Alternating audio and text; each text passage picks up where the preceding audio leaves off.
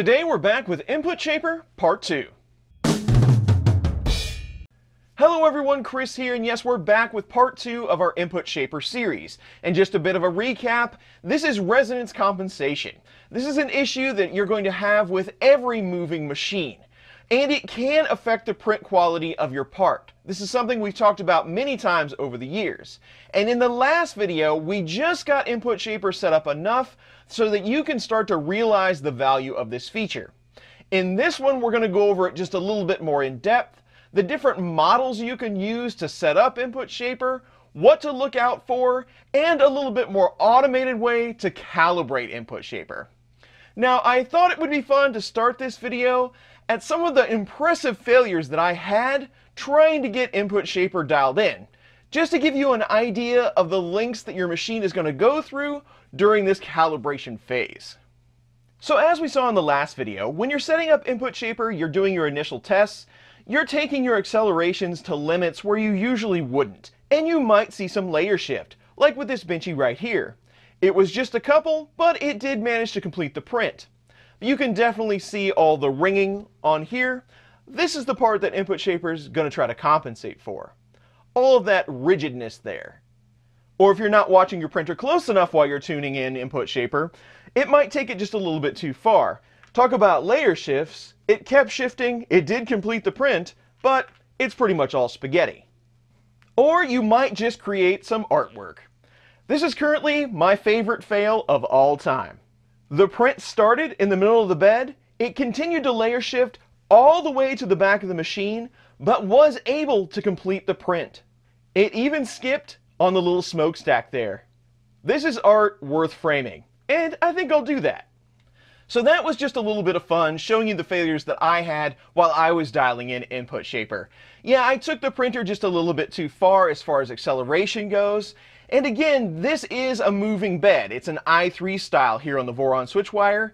So probably not the best machine to try to crank up the acceleration on, but I do think it's interesting to try to dial one of these in using this feature.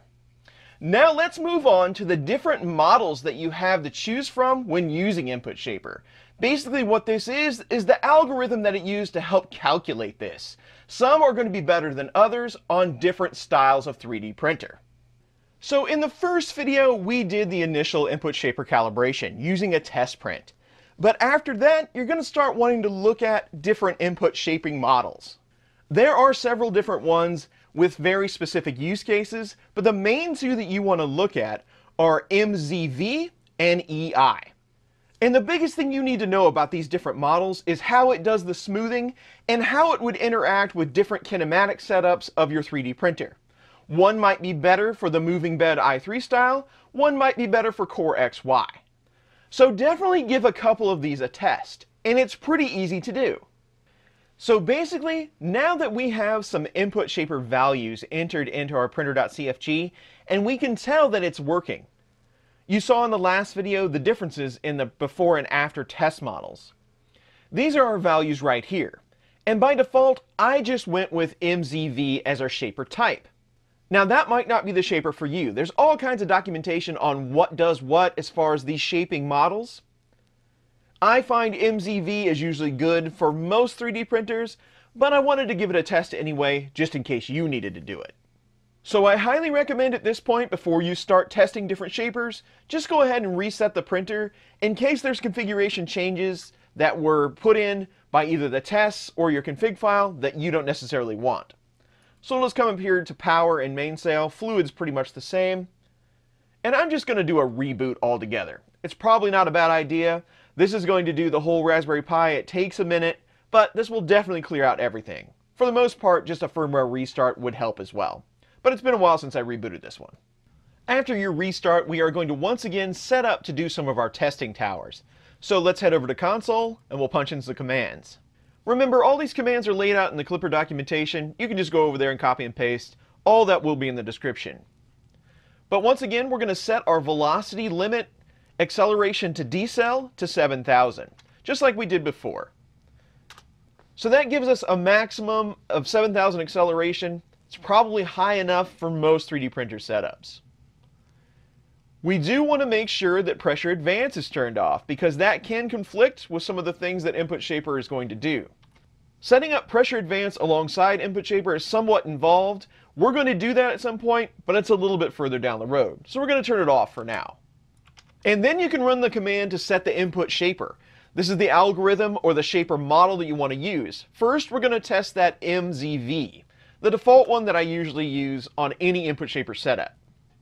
And then we want to run our tuning tower command. It is fairly long, but basically what this command is doing is getting us set up to run that test print. You saw that in part one. If you don't know what I'm talking about, go back, watch that video, set up your print so you can get ready to start testing. So the tuning tower, we're going to set the velocity limit. Parameters we're interested in is accel. We're going to start an acceleration of 1500. We're going to move up by 500 each step and the height is 5. And that will get us all the way to 7,000 on our test part. You can see the test part here in a moment when I show you what it looks like, but every increment, it moves up just a little bit higher acceleration rate. So we'll enter that. And then you're ready to start your tests. So head to your G-code, your pre-sliced ringing tower, and just hit print. So now we're going to go back and start taking a look at these tuning tower prints one more time. This is a great time to go back and watch part one if you haven't. It is in the description. You're going to want to go through those steps to slice your part to be able to start this type of testing. But let's take a look at that MZV part first, just so you can compare with other models in Input Shaper. Just so you know a little bit more about what we're talking about from the last video, this is the test print we did. This is the y-axis print. This is without input shaper. You can see as it ratchets up through all the acceleration how the resonance changes with all these different ringing artifacts. And here's the part we just ran during that MZV test. Now remember, we have smoothing enabled. Input Shaper has values in the config file. We did not turn them off. So you can see as it ratchets up through the different accelerations, you're still not getting much resonance. You can see it somewhere up in here where it starts to be a little bit more obvious, but it has it really under control. And again, this is the y-axis test. It's much greater on here because we do have a moving bed. So I didn't look at x. So we're not necessarily concerned with the ringing here for this test. We just want to look at the input shaper algorithm or the model. And we want the model that does the smoothing the best for our part, which it's doing pretty good for MZV, but also not overdoing it. And that's what this artifact over here is going to tell you. If you take a really close look as we ratchet up through acceleration, this would be 6,000, 6,500, 7,000. You can see that small gap right in there. That's at the point where the smoothing is too much you could start to see smoothing alter the dimensions of your part or causing some issues altogether. So this is how you kind of make a determination on what your acceleration should be and where you should stop. You don't want to over smooth things because that's not going to give you a very high quality print. It might look good, but might not be the best dimensionally. So you want to look down through here at where the acceleration versus the algorithm is giving you the best results. If you have a flashlight to put behind the part, it doesn't do the camera any favors here, but that can really help you see if there's any gaps. And if you go down through here, until about the middle of the part, you can still see some gaps in that artifact. So shaping might be overdoing it just a bit. So looking through all the artifacts with MZV, 4,000 is about where it looks best on the Y. Remember, you want to go back and take a look at X as well. I'm using Y as an example because it's the most exaggerated, but you could definitely see some gaps in some of these as well. Pick the one that looks the best. Depending on what you call fun, you could get out the USB microscope and have a look at your part. That makes the gaps just a little bit more obvious. This is 6500 accel and there's 4,000. You can still see a tiny gap, but only at the microscopic level.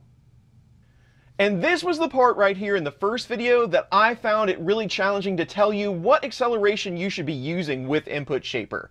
Again, you want to be able to go as fast as you can with Input Shaper, but also get a quality part. There is a good mix here.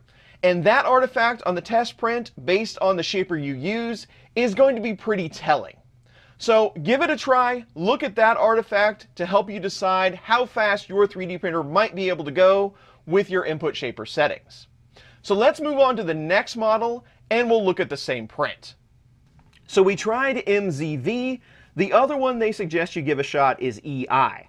Now there is a lot of documentation here, again, but they recommend for a printer like the Switchwire with a moving bed that EI you give it a shot.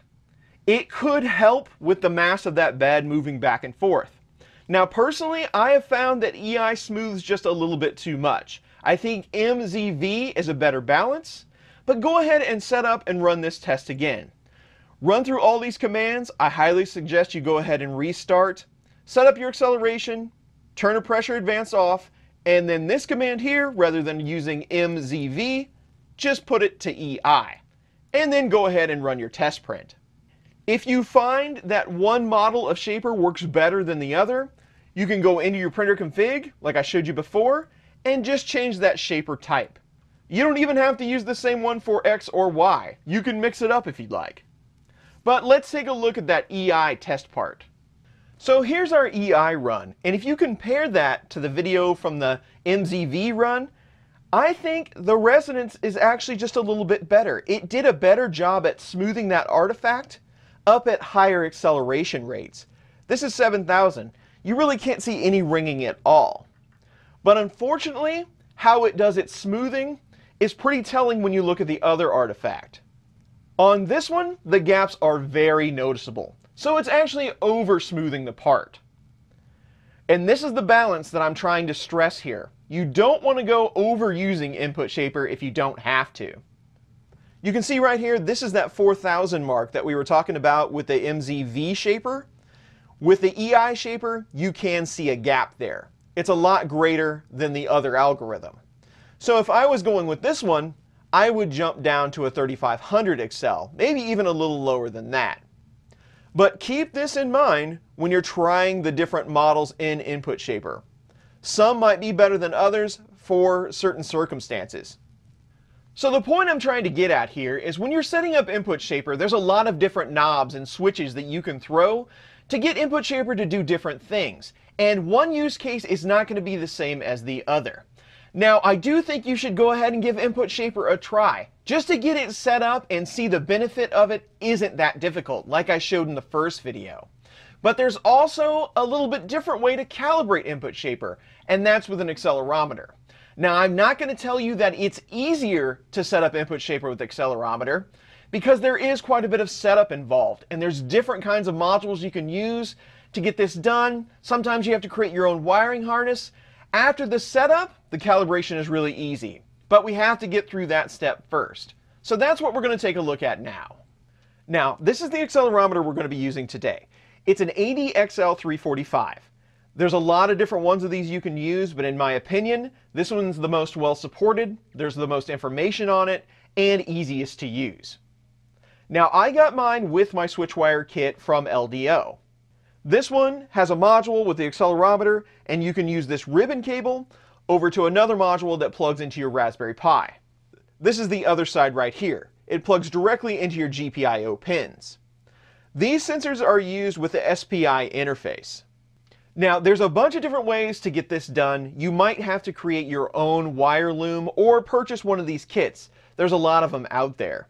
I highly suggest you get one that's pretty easy to use with your Pi. Now, there are a lot of boards that already support these. They have GPIO headers. Also, they have already a port that you can just cable up with something like a JST to use your accelerometer. So be on the lookout for this. If you need some help, leave me a comment but I highly suggest you get one that's already set up ready to go. Now remember today we're using our switch wire. We have a moving bed back and forth, and then we have our tool head left and right. So you're going to have to move that sensor and take different readings.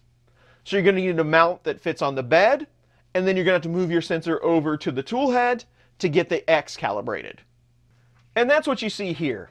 This is a printed part so that we can put it on the front of the Voron on the tool head for X. And then we have this one here with a screw that you can clamp it down to the bed so that we can do Y. So we'll just move the sensor over there. But we'll start with X. So for this one, like I said before, we just have this ribbon cable attached to the accelerometer. And then the other side is going to go to my connector that fits on the GPIO pins of the Raspberry Pi. We're using that SPI interface, and for this particular one, we have two pins down here that go all the way to the end of the GPIO. These are basically just to line you up, but they go on this far end. And when those two are lined up, you know these other eight down here are set up correctly to use that interface.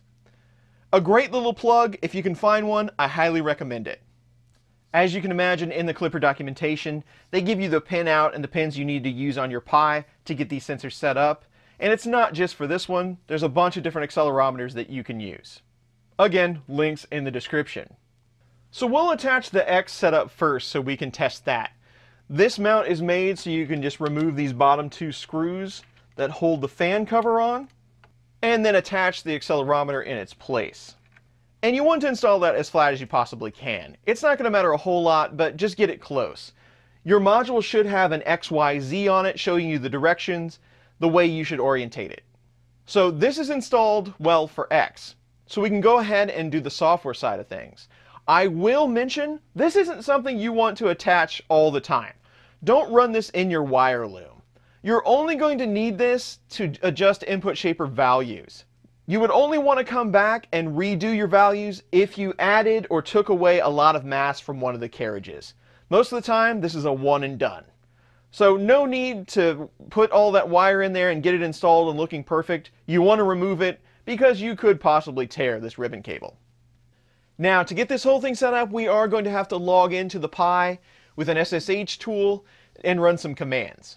There's different software you need to get this sensor working correctly on that GPIO. But I'm just going to use my putty tool and log into that Raspberry Pi or Mainsail, however you want to look at it, and log in. Again, all these commands are available in the Klipper manual, but we're just going to go ahead and update all the repos, make sure we have all the correct ones. You will need your sudo password, which should be the same as the user you just logged in with. And then we're going to do a sudo apt install for Python 3 just a few utilities in Python you're going to need to be able to use this sensor. Again, just copy and paste from the documentation. Then we're going to use a command to install Numpy in our Klipper environment. Basically, this is a package within Python that lets you do some calculations. It's needed to do these calculations we're going to get from our sensor. So we'll go ahead and do the install command. And then we're going to run some commands to set up our Raspberry Pi so that we can use our Linux MCU. And it's just a little bit complicated to explain. And it might just be me, but I always find this just a little bit hard to explain. So we have an MCU on our 3D printer mainboard. We talk to that mainboard from our Raspberry Pi with Klipper based on that device that we plug into our printer.cfg file. So you remember we take a look at that slash dev directory and we get that big long USB string? That's the address that we're talking to our 3D printer mainboard with.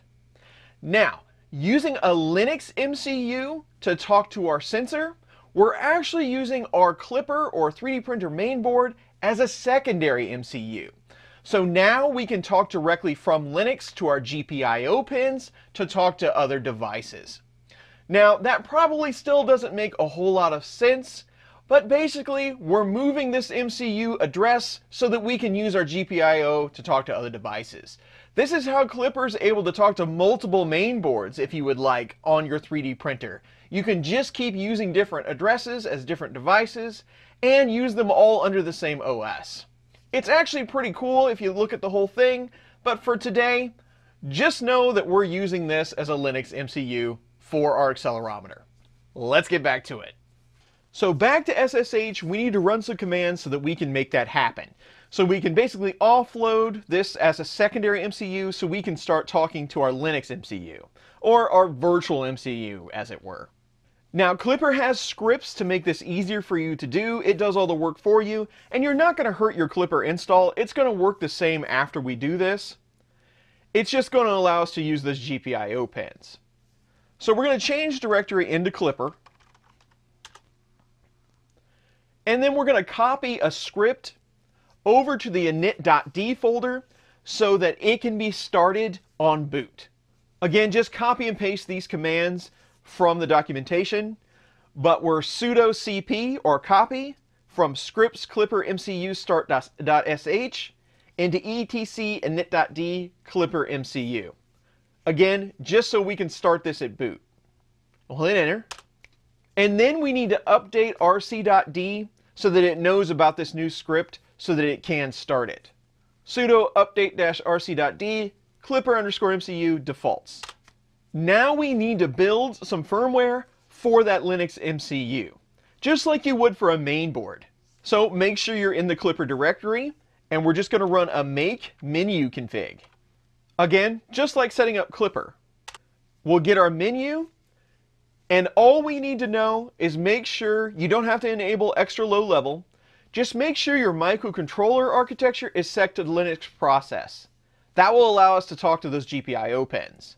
You can see in here all the different main boards, the different processors, MCU. We want Linux process. And we can hit escape. If you need to make changes, you'll just hit Y to save it. Make sure you save it. And then we can stop the klipper service. sudo service klipper space stop. And then do a make space flash to get our firmware for our virtual MCU ready. And then we can go ahead and start Klipper. sudo service klipper start. To verify that that worked, you have your Linux MCU ready to go. Do an ls forward slash temp, TMP. You'll see your Klipper host MCU. That just lets you know that now we have a device that we can access those GPIO pins. And since we're using that ADXL sensor, it uses the SPI interface. You want to verify that SPI is enabled. You can do that with sudo raspi-config. Go into interface options, number three. Number four is SPI. Just go ahead and hit it. It'll ask you if you want to enable it. Hit yes. It is enabled we will have to have that to talk to that sensor. So we can hit finish. Now would be a great time to go ahead and reboot just to make sure everything's set up correctly and then we can start talking to that sensor. Now if you've done your reboot, mainsail's back up, Klipper's running, we're talking to the printer, everything's running okay, we need to go set up that MCU in our printer.cfg so that we can talk to it. That Linux MCU. So let's go to Machine, and we'll go to printer.cfg. Here's what I was talking about before, that serial address for the MCU. That's the one on your printer board. Just think of this one like the same thing. It's just a different type of device. And I like to set my sensor up, again, underneath printer config. I just think it makes more sense down here. But you're going to want a line that says MCU space RPI, and then its serial address will be where we installed that new MCU slash temp slash klipper, underscore host underscore MCU. And the reason why I think this ADXL345 is the easiest one to use is because it has the least amount of configuration lines that you need to add. Basically, you configure it as an ADXL345 here in brackets, and then you just have to tell it where its CS pin is. So just give it a CS pin, colon, RPI, colon, none. And then you need to tell the configuration what your resonance tester is. So resonance underscore tester. We're using an accelerometer underscore chip, ADXL345. And then pick your probe points. Where would you like this accelerometer to be when it does its test? I recommend you do it over the bed, about 20 millimeters, but right in the center. Switch wire is 250 by 210. So I'm going to go right in the middle. 125, 105, and then 20 millimeters over the bed. Again, just the location where it will do the test.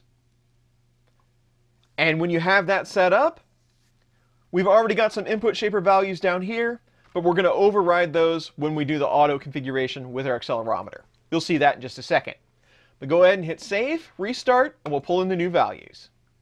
After everything's rebooted, we've got our configuration ran. You will see your MCU for your main board right here, and then your MCU RPI Linux for your sensor right here.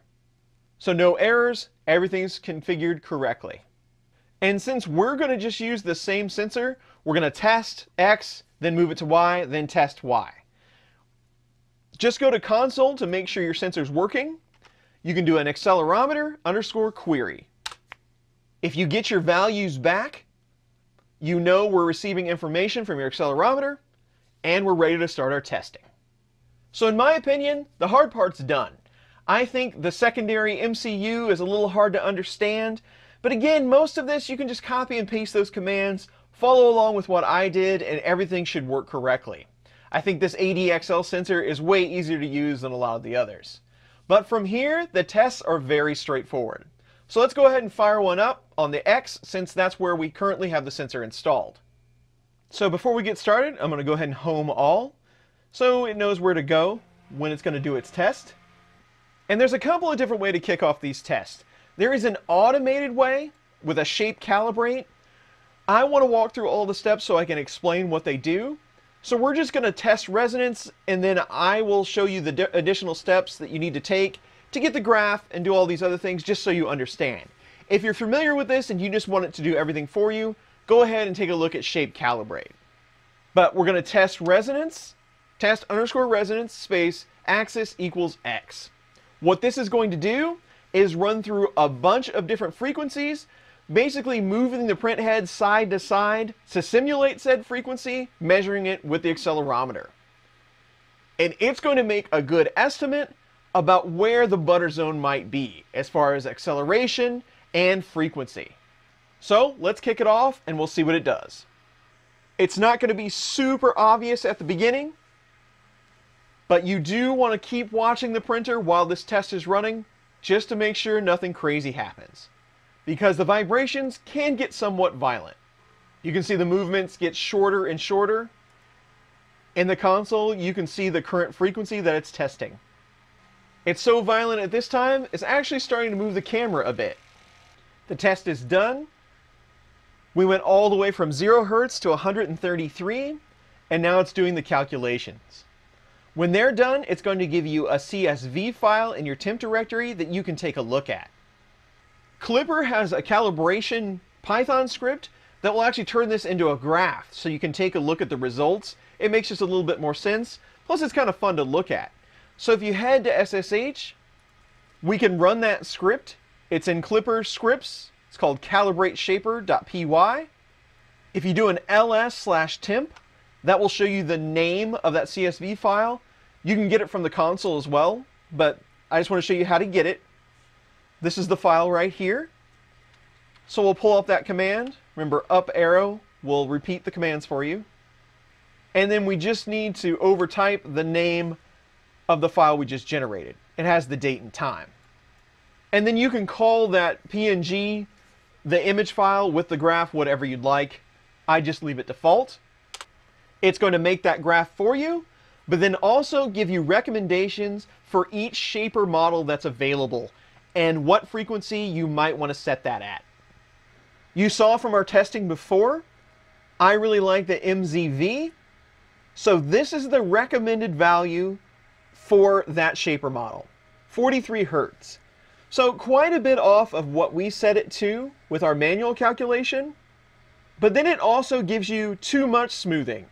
They want you to avoid max acceleration 5600. On the test part, I was looking at around 4000. But these values should be a lot more accurate than just doing it by eye on that test part. But let's go ahead and take a look at that graph to see what it looks like. The easiest way to go grab that and take a look at it is to use WinSCP. If you're familiar with Klipper, you probably already know how to use this tool. Basically, we're logging in so we can grab some files from the Raspberry Pi and take a look at them on our PC. So we'll just SCP into our Raspberry Pi address, the one running Klipper, and it's in temp, so you might need to go up a few directories. TMP is what we're looking for, and there's our Shaper Calibrate XPNG file. That's what we want. So I'll right click, going to download that to my desktop, and then we can just pop it open and take a look. And here's the results from that test run. All these different dotted lines are different shaper methods that you can use, shaper models, and it gives you the recommendations like we saw there in the SSH tool. So MZV you can see as it works through all the different frequencies, and over here is the vibration reduction ratio that it's going to suggest at each one of those increments. So you can see this MZV, we plummet all the way down in here. This is our recommended frequency at around 43.6. So this is going to be the value to give you the best result using Input Shaper given the mass of this tool head. It's a pretty interesting process all in all. So what I suggest you do is either save that graph or just copy these values right here. We still do have to test Y, but we'll come back to this. So now that we have some numbers for X, I'm going to take this sensor off and move it to our Y mount. So I've got the sensor moved over to the Y mount. This just clamps down on top of the bed. It should be good enough to get a pretty accurate value on a movable bed printer, an i3 style like this. I would just suggest you put it in the center somewhere and test it with the sheet on because the sheet does add mass.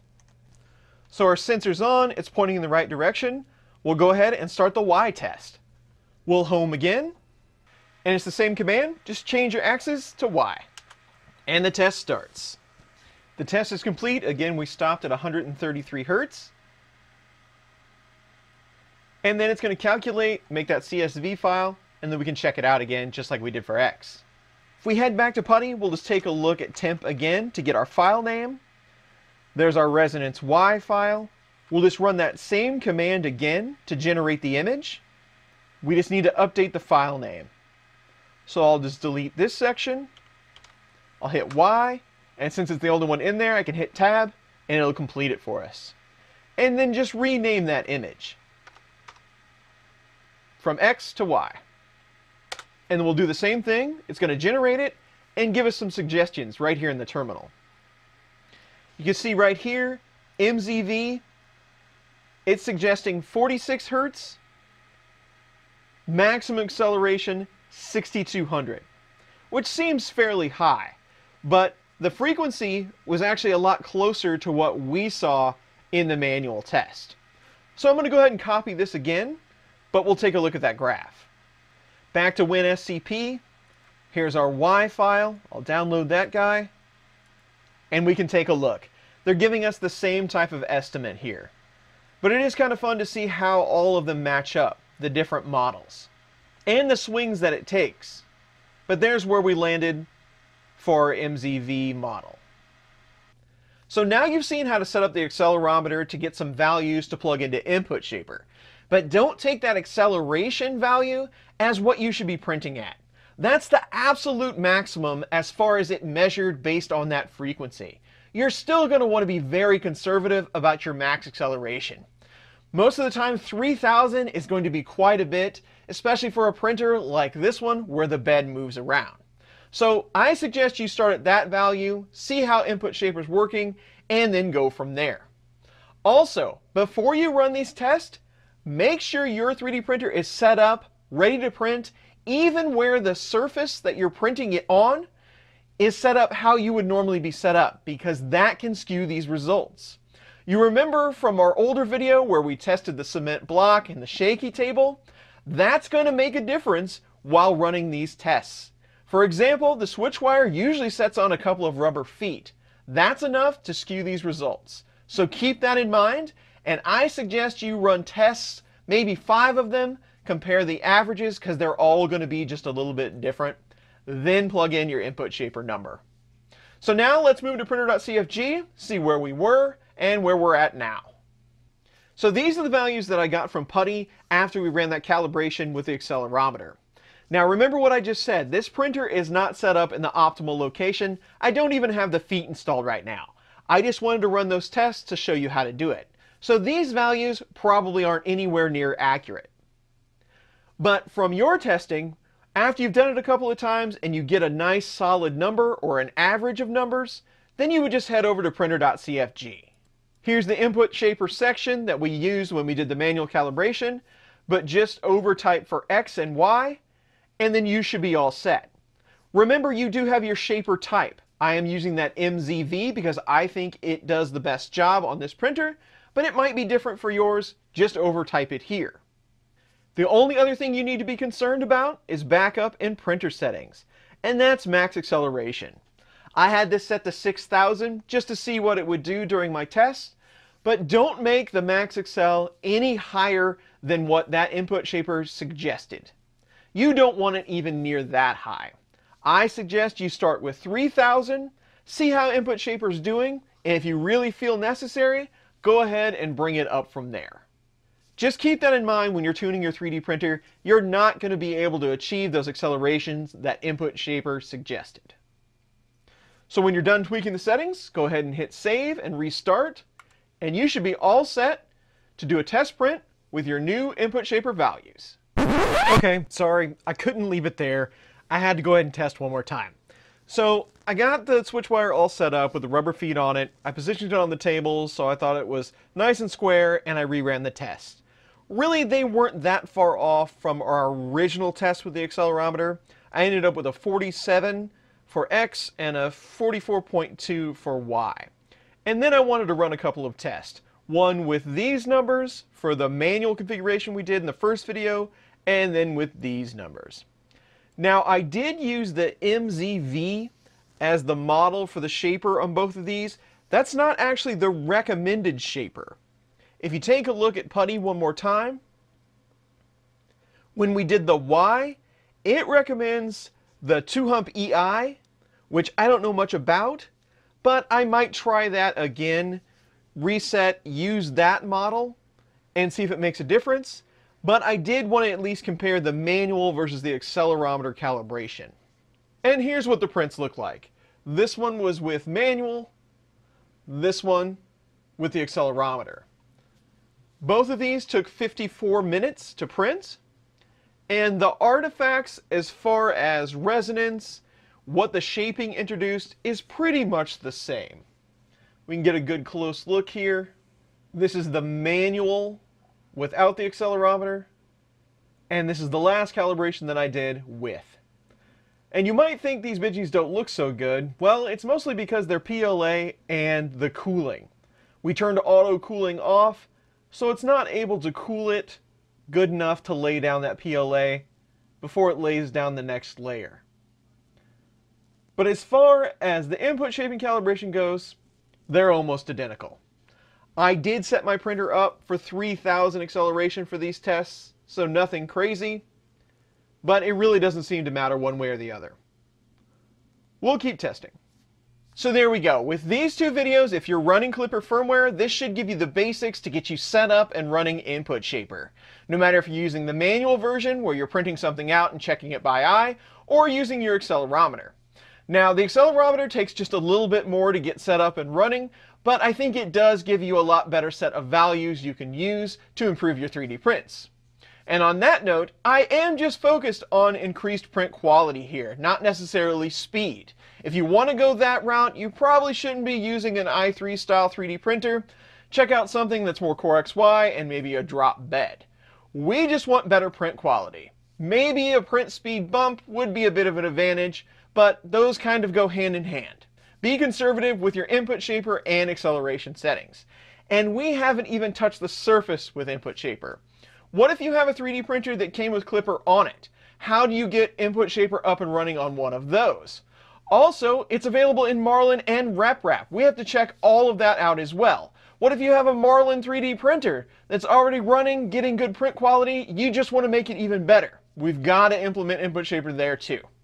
So that's it for today. A lot more to come on Input Shaper. Hopefully you found this video helpful, and I'll see you really soon on the next one.